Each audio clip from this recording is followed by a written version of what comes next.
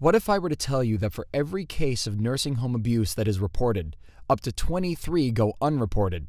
It's one of the many sad truths of elder abuse. It's a type of abuse that is insufficiently investigated by government agencies, is unrecognized, underfunded, and for many is undefined. At its core, elder abuse is any form of mistreatment that results in harm or loss to an older person. To help prevent elder abuse, we need to understand the different types of abuse and how to recognize the signs. Elder abuse can be broken down into three general categories physical, neglect, and financial. Physical elder abuse generally results from the mishandling of patients, not properly monitoring their health conditions, or changing conditions within the standard of care, or even can be the result of sexual misconduct.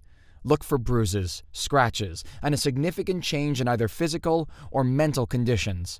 This abuse can come from any number of sources another elder, nursing staff, caregiver, even a family member or friend.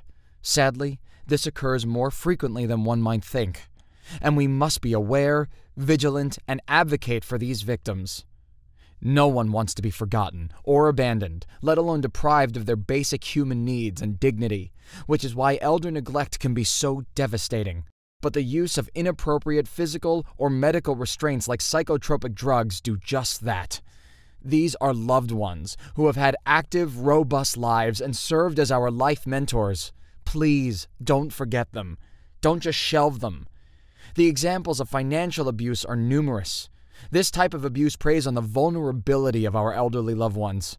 The financial abuse we usually see may come from hurried caregivers, scams, or even family members themselves. Elder abuse prevention is improving with awareness, knowledge, and action. However, more needs to be done. Learn more about elder abuse at these websites. Help take a stand. Because this isn't just a problem for people in your past and the present. If it's not stopped, it will be a problem for your future.